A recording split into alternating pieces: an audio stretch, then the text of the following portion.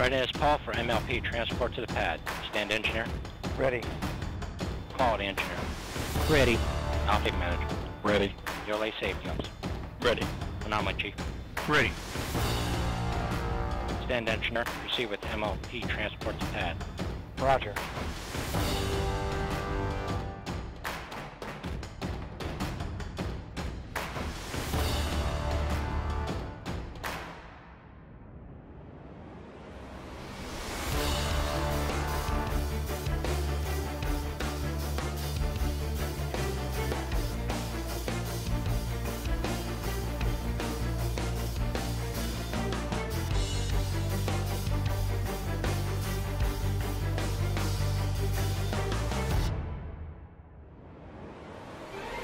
Launch vehicle is ready to launch. Mission director. You have permission to launch. Data check. Go Atlas.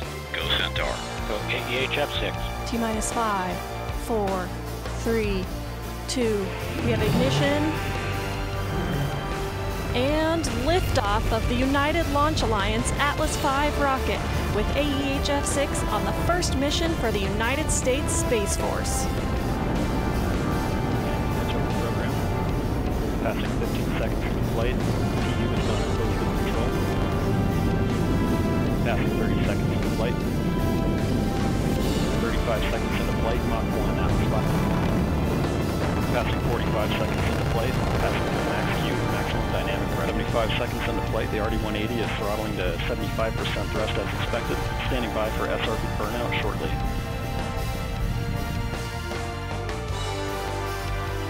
Have jettison of all five SRBs.